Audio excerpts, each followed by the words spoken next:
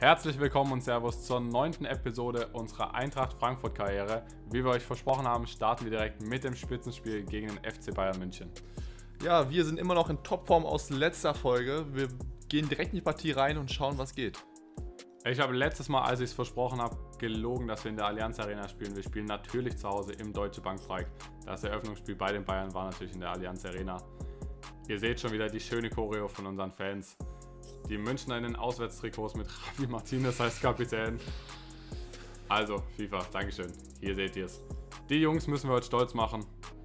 Einen guten Kampf leisten gegen Bayern München. Die sind natürlich auch müde. Englische Woche gehabt. Genauso wie wir. Wir haben natürlich clever rotiert. Obwohl clever rotiert und dann verloren ist natürlich gut gesagt. Wir haben versucht, clever zu rotieren, um jetzt unsere beste Mannschaft auf dem Feld zu haben. Auf Lucien Favre angelehnt. Genau. Und wir gehen mit folgender Aufstellung in die Partie. Kevin Trapp noch im Tor, dann Endika, Hinteregger und Almani Touré. Unser Fünfer Mittelfeld mit den Außen auf Kosic und Da Costa und Silva und Dost vorne drin. Heute wird also heute wird also auf jeden Fall Tempo-Fußball gespielt.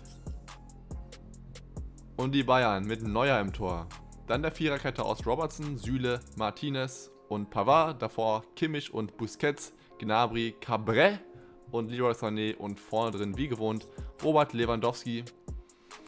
Ja, ich denke, es wird relativ schwer zu pressen gegen die Jungs mit Kimmich und Busquets Ja. auf der Doppelsechs. Das scheint so zu sein, ja. Wir haben uns einen Bus gemietet, den parken wir jetzt hinten drin und hoffen, dass wir hier irgendwas mitnehmen können gegen die Münchner. Und die Bayern kommen hier über Lewandowski, der in die Mitte legt, auf Sergio Busquets vielleicht oder Cabaret, ich weiß es nicht, Nummer 16. Sergio Busquets in alter Stürmermanier. Ich Ich glaube, glaub- der ist beim Anschluss schon losgelaufen in Richtung Strafraum und ist jetzt erst angekommen. Das, Aber alles richtig gemacht, würde ich sagen. Dass Das- der uns eine Bude knackt, Scheiße, damit ist habe ich auch halt- nicht gerechnet. Mal, da hinten, da ist er losgelaufen. das zeigt er auch den Laufweg an. Spielt den eigentlich direkt in die Mitte, weil er kann halt auch einfach nicht schießen, aber Kevin Trapp kann leider trotzdem nichts machen aus der Distanz. Knickt noch leicht um hier. Kimmich mit einem überragenden Ball in die Tiefe. Und als ich gesagt habe, wir sehen uns gleich, meinte ich natürlich beim 2 zu 0 vom FC Bayern. Hier trifft jetzt ähm, Ronaldo Cabré, wer auch immer das sein soll. Hat nicht mal ein Gesicht gehabt. Aber für uns heißt jetzt Gesicht bewahren und nicht hier unter die Räder zu kommen. Hier seht ihr nochmal Kimmich mit einem krassen Ball, wirklich. Wahnsinnsball trifft es ganz gut. Und Trapp mal wieder ohne Chance.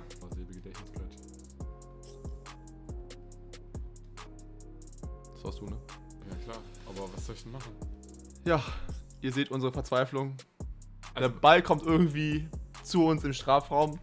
Wir können leider nicht so viel damit anstellen und Ronaldo Cabré macht hier das 3 zu 0, kurz nach seinem 2 zu 0. Also ich meine, ihr seht hier, da zieht Sergio Busquets einfach ab und ja, unser Abwehrspieler fällt zwar den Ball ab, kann ihn aber überhaupt nicht kontrollieren, legt ihn dann Cabré mustergültig vor und er macht hier seinen Doppelpack vor der Halbzeit. Wir sind 3-0 hinten, wissen eigentlich auch gar nicht mehr, was wir eigentlich groß machen sollen. Ja, jetzt wissen wir auch mal, wie sich so die Bundesligamannschaften fühlen, wenn sie gegen Bayern München spielen müssen. Wir liegen hier 3 zu 0 zur Halbzeit zurück und wissen eigentlich gar nicht, was wir genau machen sollen. Also, das geht schneller, wie man denkt. Und läuft für uns absolut miserabel. Die letzte Folge war ja schon nicht unbedingt von Erfolg gekrönt. Und hier geht es gerade so weiter. Schade. Ja, in der Halbzeit bringen wir Pellegrini für Danny da Costa und Dost geht auf die Bank. Dafür kommt Ragnar Ache rein. Dost bewegt sich in letzter Zeit eher wie ein LKW anstatt wie ein Fußballspieler und ist einfach unspielbar. Ich glaube, der hat inzwischen nur noch 41 Tempo oder irgend sowas in die Richtung. Und ich meine, gegen den Computer ist Tempo jetzt nicht unbedingt alles, aber es hilft halt schon. Weil wenn man sich, wenn man nicht mal geradeaus laufen kann und kein Sprintduell gegen Javi Martinez gewinnt, dann ist halt einfach ein bisschen schwierig damit zu spielen. Und ja, deswegen haben wir uns jetzt für Ragnar Ache entschieden. Der hier auch direkt in Szene gesetzt werden möchte von Pellegrini. Der kommt nochmal schön mit. Kann er hier das Tor machen? Nein, Neuer wieder mit einer absoluten Glanzparade. Die Dinger gehen eigentlich sonst immer rein, aber nicht gegen Manuel Neuer. Und, Und Bayern hier nochmal. Ronaldo Cabré macht hier sein drittes Ding. Wer auch immer das der Junge ist. müssen wir danach auf jeden Fall mal scouten. Ja, 4 zu 0 für die Münchner. Wir sehen hier eigentlich gar kein Land mehr. Also uns steht das Wasser wirklich über der Oberlippe und kommt auch kurz mit der Nase kurz. Immer wieder so ein, ein kleiner Tropfen rein. Ja, genau. So sieht es nämlich bei uns gerade aus. Cabaret. Ja, wir haben uns endlich mal eine Chance rausgespielt, sind dann an Manuel Neuer gescheitert. Ja, wir spielen uns hier eine Chance raus und Bayern verwandelt sie. Genau. So läuft das eben gegen die Münchner. Ja, der Bus ist endgültig weg. Lewandowski hier mit dem Konter ist zum Glück nicht mehr ganz so frisch von dem Spiel unter der Woche. Und dann können wir mal eine Chance der Bayern klären. Also fürs Erste. Ich weiß immer, wir sind jetzt zwar an der Mittellinie, aber ich weiß immer noch nicht, ob wir die Chance geklärt haben. Ja, Ache, Ache hier. euch. Kommt schon. Das könnte sein. Geht hier durch, legt in die Mitte und André Silva macht hier noch das Tor. Jubelt, als gäbe es kein Morgen mehr. Bisschen Ergebniskosmetik, wird Frank Buschmann jetzt sagen. Genau.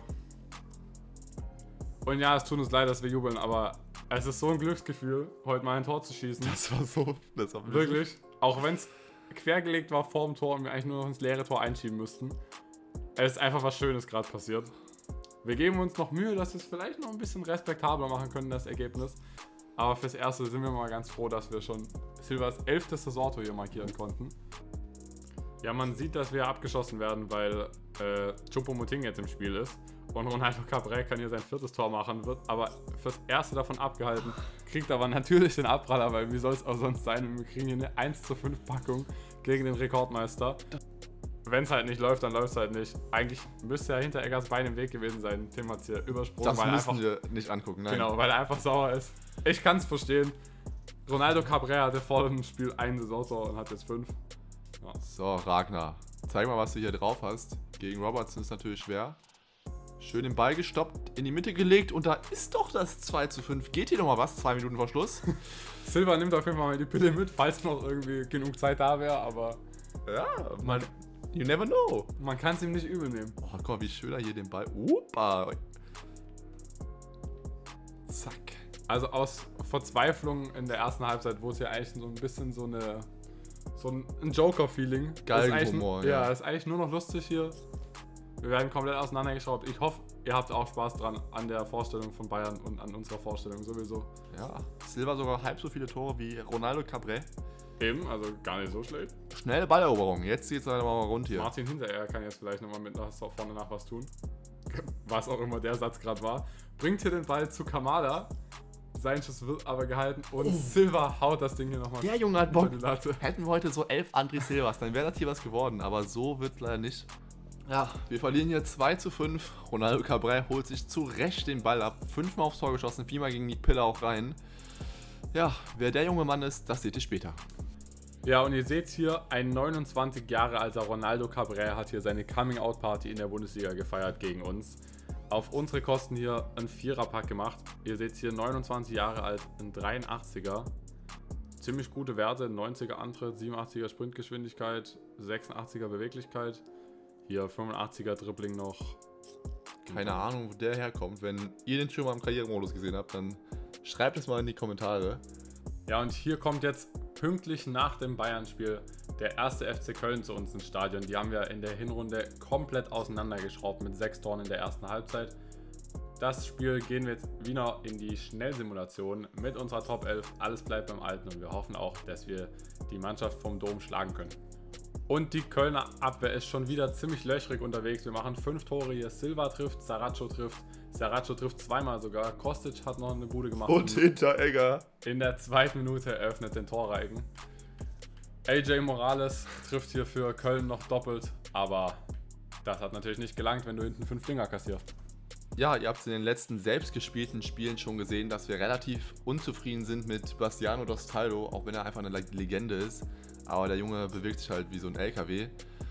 Und da ist uns die brillante Idee gekommen, dass wir vielleicht nicht mal so einen Luka Jovic auf die Scout-Liste packen.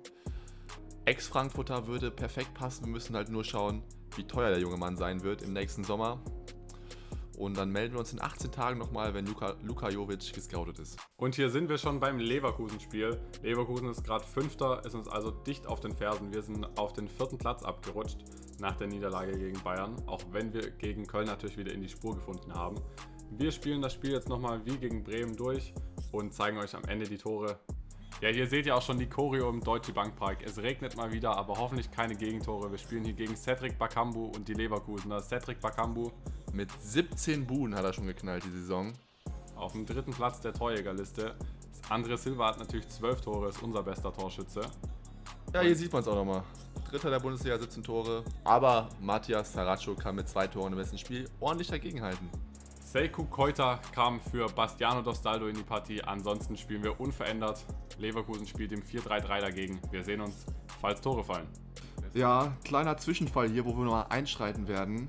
Ähm, wir wollten das Spiel schnell machen und dann passiert es hier. Almani Touré geht zu Boden, hält sich das Knie.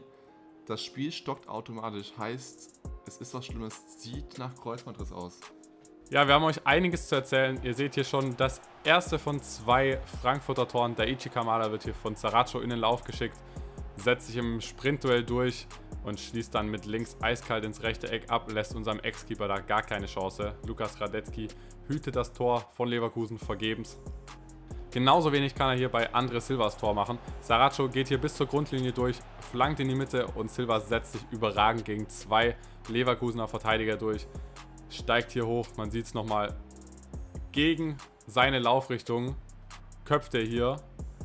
Keine Chance für Radetzky nochmal. 2 zu 0 waren wir in Führung. Doch dann kam der drittbeste Torjäger der Bundesliga mit Cedric Bakambu und tunnelt hier Martin Hinteregger, lässt vom 16er, von der 16er Kante Kevin Trapp keine Abwehrchance. Der kommt noch raus, versucht den Winkel zu verkleinern und hier sieht man es. Hinteregger läuft völlig vorbei, wird noch getunnelt, dupiert von Bakambu 2 zu 1. Und dann kam es, wie es in letzter Zeit kommen muss. Guckt euch es einfach an. Ein Seitfallzieher, von dem über landet am Pfosten. Schick reagiert schneller als unsere ganze Hintermannschaft und netzt ins leere Tor ein. Hier sieht man es nochmal. Also FIFA doing FIFA things.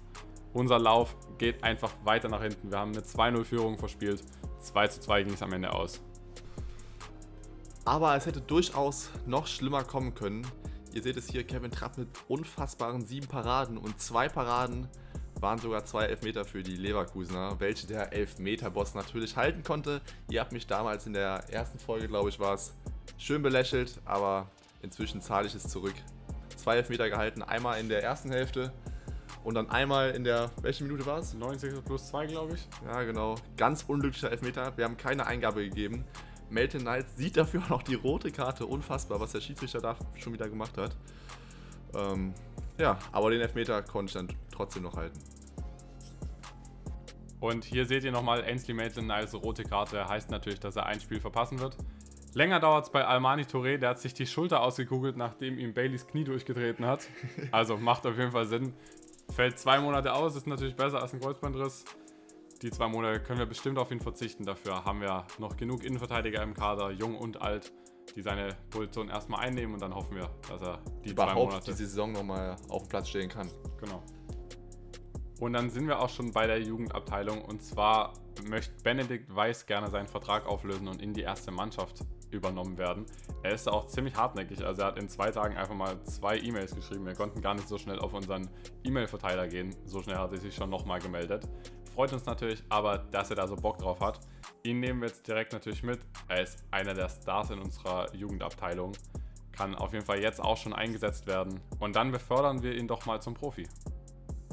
Und hier haben wir ihn auch schon in der Mannschaft. RM und ZM kann er spielen. 78er Tempo, 64 Schießen, 68 Passen, 70 Dribbling, 41 Defensive, 5 54 Physis, 3 Sterne Spezialbewegung, 5 Sterne schwacher Fuß, Linksfuß, hoch-niedrig Arbeitsraten, 1,74.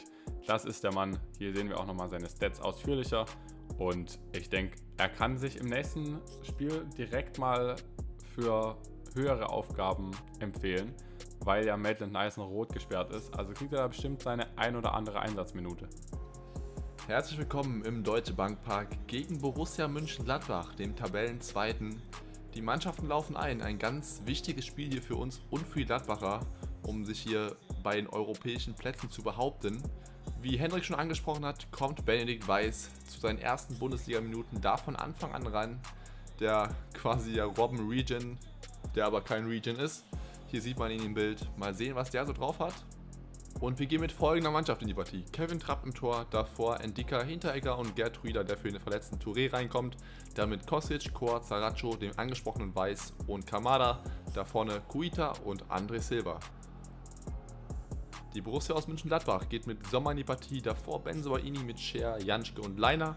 Auf der Doppel 6 Neuhaus und Benisch. Ganz wild.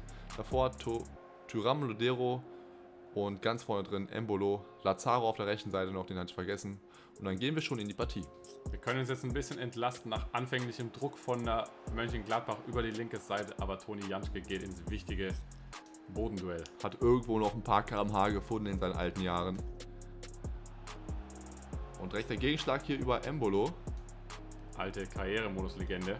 Kriegt ja auch den Ball durchgesteckt, aber Trapp kommt überragend raus, macht sich groß und hält den Ball fürs Erste. Embolo ja auch nicht für seinen guten Abschluss bekannt.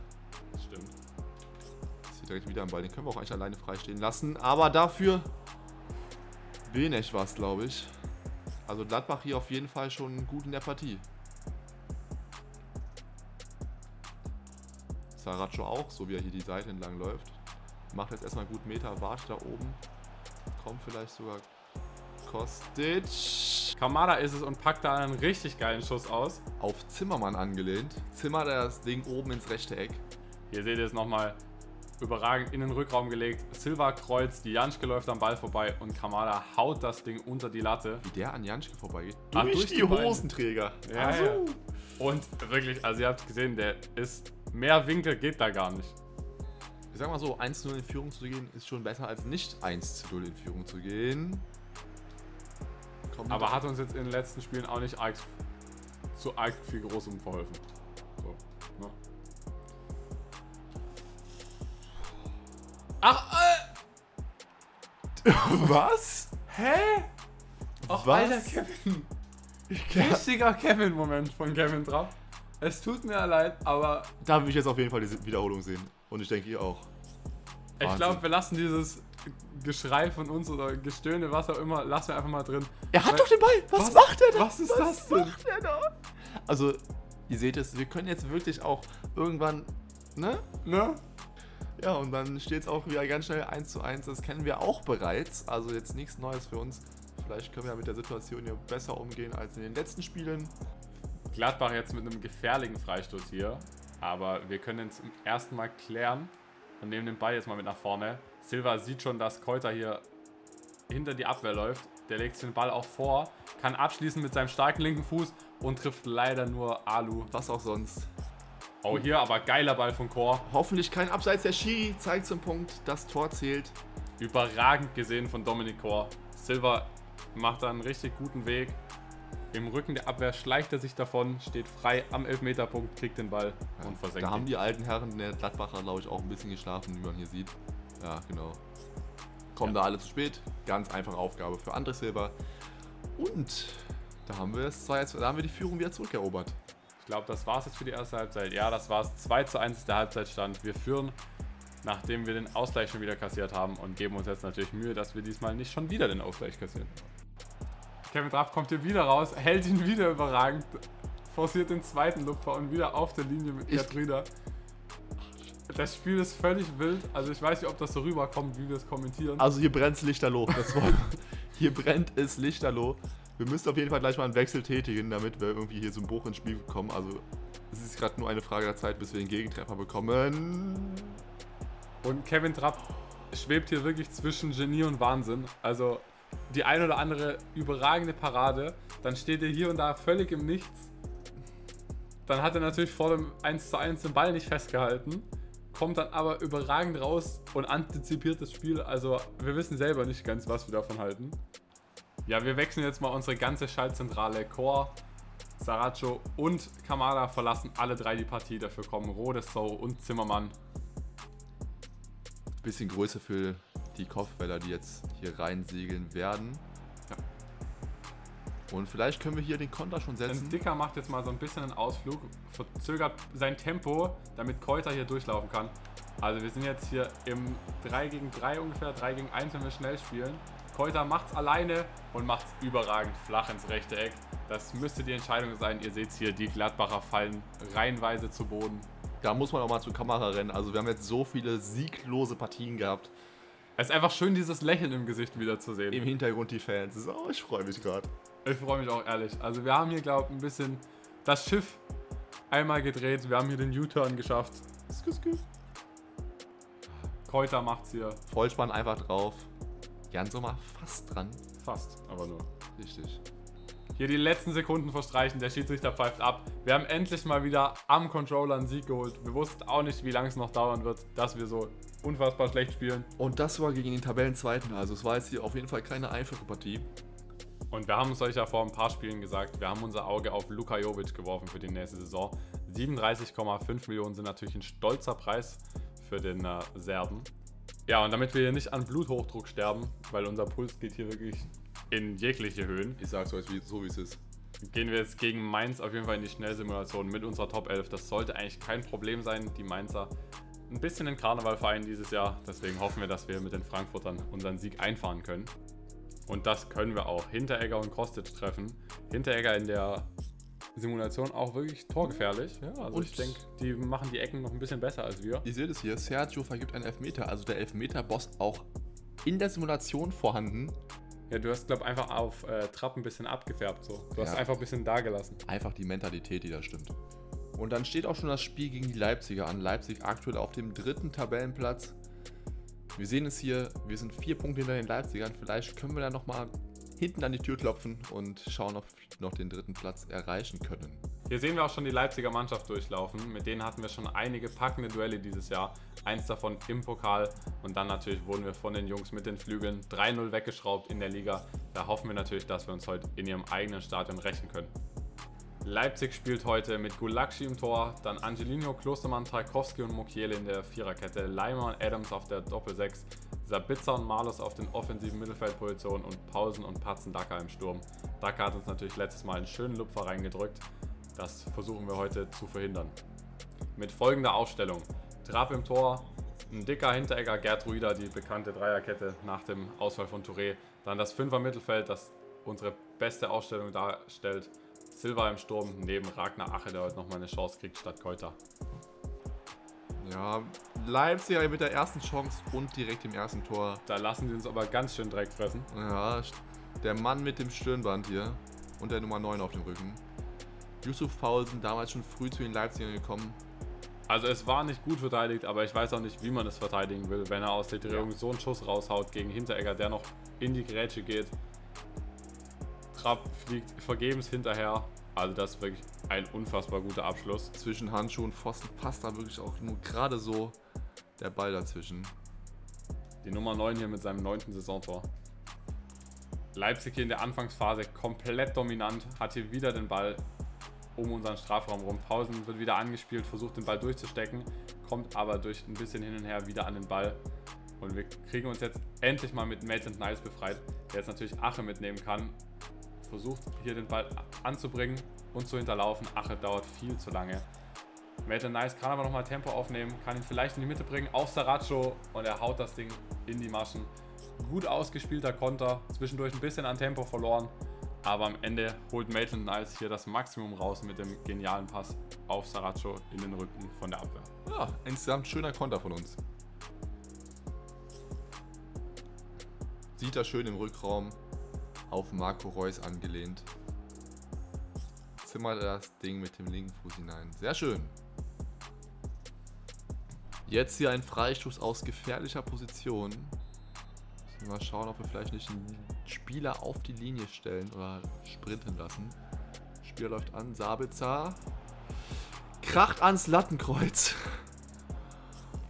Wahnsinnig guter Freistoß. Wow. Glück für uns. Und so geht es mit einem 1 zu 1 in die Halbzeit. Die Tore sind früh gefallen durch Pausen in der vierten Minute und Saracho in der 13. Minute. Vor unserem Strafraum bringt dann eine Flanke rein Oh. und Maitland Niles kriegt sie nicht kontrolliert, kann auch nicht direkt klären und leitet so perfekt weiter auf einen Leipziger Spieler. Ich Konrad glaub, Leimer. Konrad Leimer hier. Ziemlich handlungsschnell, wie man sieht. Handlungsschneller als Maitland Niles und Kevin Trapp auf jeden Fall. Ja, FIFA, aber das brauchen wir jetzt nicht in 18 Perspektiven sehen. Ganz, ganz unglücklich auf jeden Fall. Kostic bringt jetzt die Ecke auf Andre Silva, der vorm Tor und macht die Bude 2 zu 2. Das war mal ganz wichtig. Endlich mal wieder ein Eckballtor.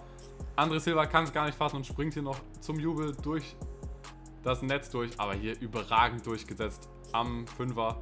Gegen zwei Leipziger geht er hier hoch, gewinnt das Kopfballduell über Golakschis Kopf durch, hat ihm noch die Glatze rasiert oder den Ballspot zumindest. Manu Ginobili kennt sich damit aus. Ja, Kopfballtore ja inzwischen wieder schwer wie in FIFA, so schwer wie in FIFA 20 nach dem Patch und schon sein 16. Saisontor, Junge André Silva, heiß wie Frittenfett. Ich würde sagen, auf jeden Fall unser Starspieler dieses Jahr.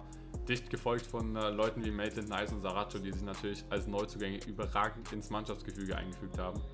Aber André Silva hier wirklich mit unserer Lebensversicherung in den Spielen.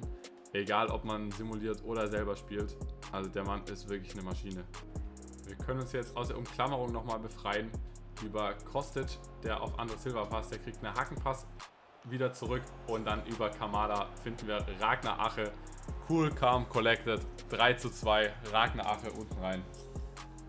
Da freut er sich zurecht. Hat lange kein Tor mehr geschossen, oder? Ich glaube schon, ja. Ja.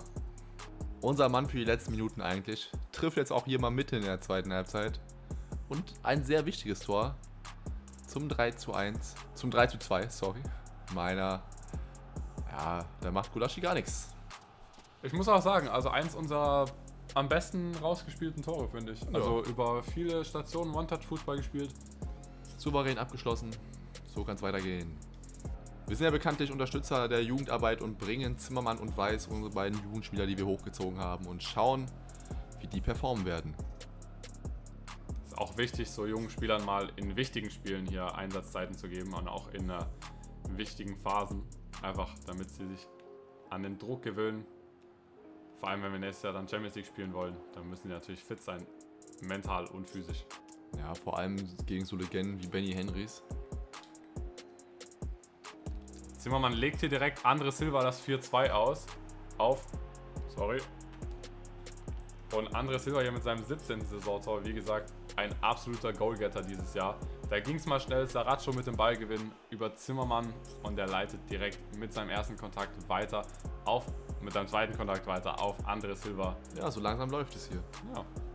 Wir sind auf jeden Fall wieder von unserer Katastrophen-Episode befreit, können hier gut ausspielen und machen vorne wieder die Buden. Ragnar Ache kriegt jetzt nochmal den Ball und leitet ihn direkt weiter auf Andre Silva. Der kann jetzt natürlich seinen Hattrick schnüren, wenn er sich hier gegen Orban durchsetzt. Und genau das macht er auch. Und schließt mit links eiskalt zum 5 zu 2 ab. Das war es jetzt endgültig für die Leipziger. Wir haben uns für die Hinrundenniederlage revanchiert und können hier mit drei Punkten im Gepäck nach Hause fahren. Benedikt Weiß auf jeden Fall heiß. Also, der hat quasi das Tor selber gemacht. ja, weil hier unten Spieler abgeblockt hat. Aber ich meine, das ist auch ein emotionales Erlebnis, mal so für einen Spieler aus der eigenen Jugend vor den Auswärtsfans feiern zu dürfen beim 5 zu 2. Also können wir es ihm verzeihen, er hat einfach nur Spaß gehabt. Das waren die Fans von der RB Leipzig. Ja, dann noch geiler, ganz ehrlich. Und so ist das Spiel auch zu Ende. 5 zu 2 gewinnen wir hier in Leipzig. Andres Silva holt sich noch den Matchball ab. Absolut verdient. Den kann er daheim in irgendeine Glastrophäe reinpacken und nie wieder angucken. Und das war's dann auch von uns für diese Episode. Wir sehen uns dann in der nächsten Episode mit den letzten vier Spielen der Liga. Wie immer, wenn es euch gefallen hat, dann drückt bitte den Daumen nach oben und abonniert uns, aktiviert die Glocke und empfiehlt uns weiter. Das wird uns mega freuen. Bis zur nächsten Folge. Macht's gut. Ciao, ciao. Und Servus. I'm coming home, I'm coming back down tonight. Cause I've been hip.